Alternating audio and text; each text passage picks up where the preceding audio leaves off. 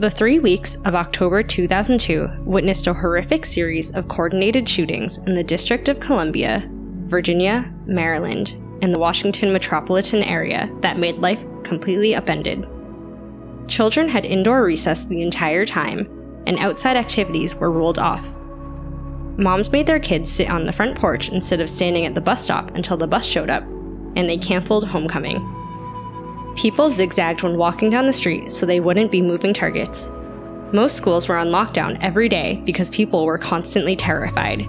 The whole shebang made October 2002 seem like the longest three weeks in the Washington metropolitan area. And who were the enraged lunatics behind this terror?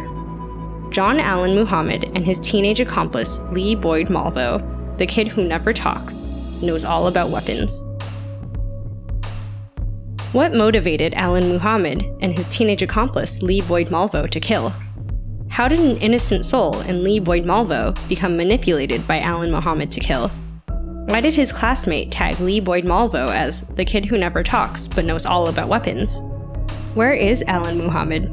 And has Lee Boyd Malvo's six life sentences without the possibility of parole been reconsidered? We'll unravel everything here, but before we do, please kindly subscribe and turn on the notification bell for more true crime videos that struck fear in America. Lee Boyd Malvo was born on February 18, 1985, to Leslie Malvo, a mason, and Una James, a seamstress who never married in Kingston, Jamaica. John Allen Muhammad, born Williams, was born on December 31, 1960, in Baton Rouge, Louisiana.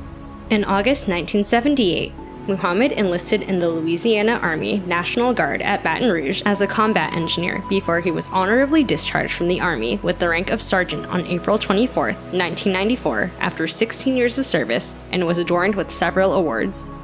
Malvo and his mother first met John Allen Muhammad in Antigua and Barbuda and developed a strong friendship. Muhammad's mother, Una Sion James, was ready to do anything to travel to the US. Thus, she collaborated with Muhammad and flew to Fort Myers, Florida using false documents and left Boyd Malvo with Muhammad. Malvo and his mother illegally lived in Miami in 2001, where the Border Patrol apprehended them in Bellingham. In January 2002, Malvo was released on a $1,500 bond. Muhammad converted Boyd Malvo to Islam and isolated him from his mother so that he could manipulate and brainwash him greatly. Meanwhile, Muhammad pronounced death on the country's people because he lost his children to his wife's custody and never saw them again. Now he had a boy in Boyd Malvo to kickstart his mission. Malvo enrolled in Bellingham High School with Muhammad falsely listed as his father. He gained the nickname The Kid Who Never Talks, Knows All About Weapons from other students in a weapon discussion class for his deep knowledge of guns. Malvo practiced his marksmanship on the Bullseye firing range adjacent to the gun shop and shoplifted a Bushmaster XM15 from the Bullseye shooter supply before he matured into killing. On February 16, 2002, was when the first shooting occurred. Lee Boyd Malvo heartlessly shot and killed 21 year old Kenya Cole Cook in Tacoma, Washington. Cook heard a knock on her door and cracked it open, hoping it was her aunt, Isa Nichols, Isa Nichols had been a good friend of Muhammad's ex wife Mildred and had encouraged her to seek divorce due to the ill treatment melted on her by Allen Muhammad. On March 19, 2002, the duo struck again and killed a six year old Jerry Taylor practicing chip shots at a Tucson, Arizona golf course. The snipers hit Jerry with a single bullet to the chest from Muhammad's blue 1990 Chevrolet Caprice sedan that he used to fire shots from long ranges. In the same fashion, two deaths and four injuries followed in other states from March through July 2002. They resumed again on August 1, 2002, when the 17 year old Boyd Malvo fired a shot at John Gaeta's neck at a parking lot in Hammond, Louisiana. Luckily for the 51 year old John Gaeta, the bullet exited through his back and he lay on the ground and pretended to be dead while watching Malvo get away with his wallet. Gaeta stood after the shooter left and went to a hospital for treatment. On March 1, 2010, he received a letter of apology from Malvo. Muhammad and Malvo were linked to various preliminary shootings and killings before shifting their target to the Baltimore Washington area, which started when a victimless shot pierced through a window of a Michael's craft store in Aspen Hill that nearly hit Ann Chapman, a cashier at the store. Because no one was hit, no one cared until about an hour later when James Martin, a 55 year old program analyst at NOAA was struck by a sniper's bullet at 2201 Randolph Road in a grocery parking lot in Wheaton. By 10 o'clock on the morning of October 3rd, four more people were brutally shot dead in Montgomery County, Aspen Hill, Tacoma, and the District of Columbia. This happened within approximately two hours in those nearby areas. That anyone could be the next victim threw people into panic attacks and the worst part was that the victims were killed by a single shot fired from some distance, and in each case, the killers struck and vanished. Chief Charles Moose, the Montgomery County, Maryland Police Department leader, took up the case and involved the FBI and other law enforcement agencies. Within days, about 400 FBI agents poured across the country. They set up a toll free number to get tips from the public and a joint operations center to help Montgomery County investigators run the case. Still, the killings continued.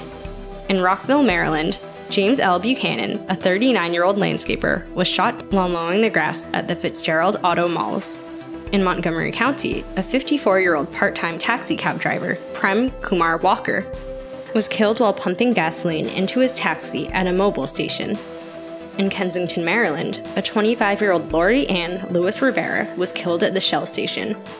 In Norbeck, Sarah Ramos, a 34 year old babysitter and housekeeper, was killed while seated on a bench and reading a book. In Washington, D.C., Pascal Charlot, a 72 year old retired carpenter, was shot and killed. As a result of these hourly killings, these areas were greatly deserted with no recess or outdoor physical education classes. Schools in Montgomery County and Washington, D.C. declared a lockdown, while others took precautionary measures since the whole place seemed to be engulfed by the unknown monsters and the police had no answer yet. Some people had reported seeing a white box truck hurriedly speeding off after the Washington, D.C. shooting, while others reported having seen a blue Chevrolet Caprice.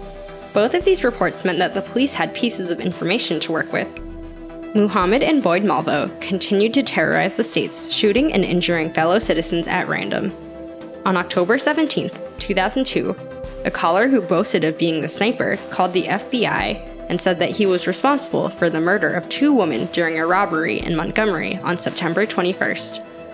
Although there were killings in a liquor store in Montgomery, Alabama, only one person was killed.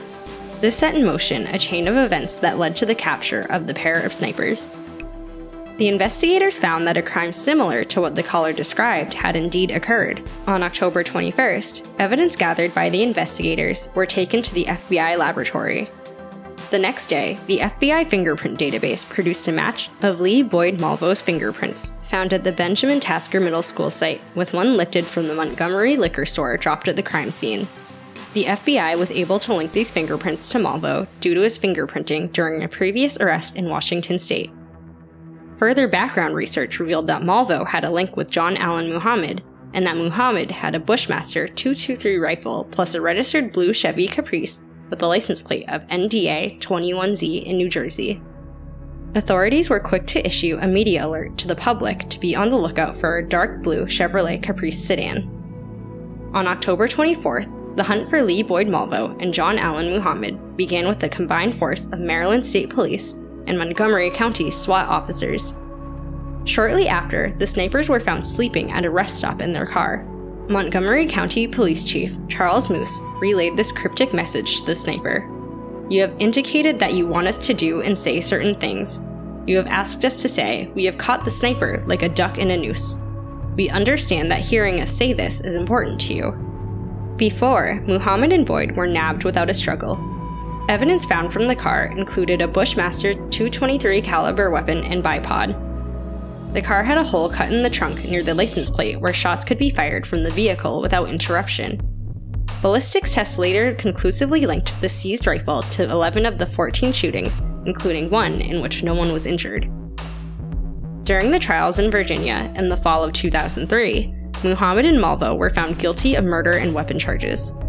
The jury in Muhammad's case condemned him to death, while Malvo's jury condemned him to life in prison without parole instead of the death penalty. As Malvo was 17 years old when he committed the crimes, he was exempted from the death penalty as ruled by the Supreme Court. Still, he could be extradited to Alabama, Louisiana, and other states for prosecution. On April 22, 2005, the Supreme Court affirmed Muhammad's death penalty because the murder was part of an act of terrorism based on a handwritten note demanding $10 million. Muhammad was executed by lethal injection on November 2009 and pronounced dead five minutes later. After extensive psychological counseling, Malvo revealed that he wasn't the triggerman for every shooting as he had admitted earlier, and that Muhammad abused him repeatedly. He further outlined detailed aspects of all the shootings. In 2014, Malvo was incarcerated at the Red Onion State Prison and sent apology messages to his victims. On August 16, 2022, the Maryland Court of Appeals ordered a resentencing for Malvo in line with the Supreme Court decision. Do you think Boyd Malvo was very much neglected and emotionally strained in his childhood? Do you think that growing up in poverty or being abused as a child or adult does not excuse hurting someone else? Should Lee Boyd Malvo be pardoned? Tell us in the comment section below. Thank you for watching.